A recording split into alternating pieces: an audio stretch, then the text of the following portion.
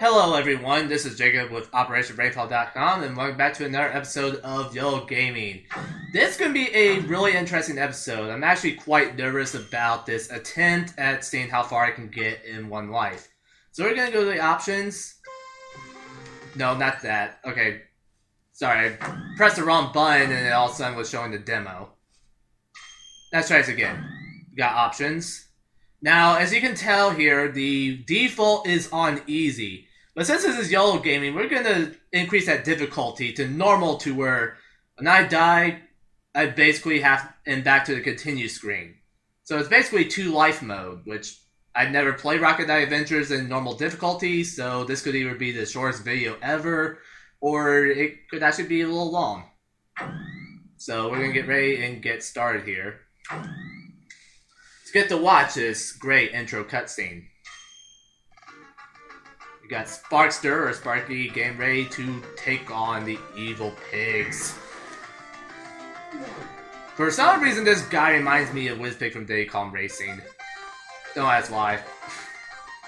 And we're on to stage one. We'll see how far we can get. This this is quite an underrated platformer. Uh, it's it's enjoyable. I play a few times. Not something I frequent frequent all the time, but it's still fun high pace. It's kind of a shame that the series didn't go on to spawn a lot of sequels. Now we got some vehicles here. Oh, and that took out half my health. Oh, there we go. He's destroyed. But we got more. Oh, and I am down to half a heart. This isn't good. We're gonna be going here it can be kind of tricky to bounce off the, um, or to fly up, not bounce the walls. I'm hoping I can at least get to the first boss fight in this difficulty. That'd be a pretty satis satisfactory playthrough. And these mags can be quite the pain.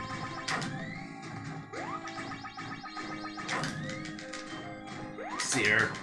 And unfortunately, I didn't make it to the first boss. Like I said, um, normal mode is quite quite a difficult jump in difficulty.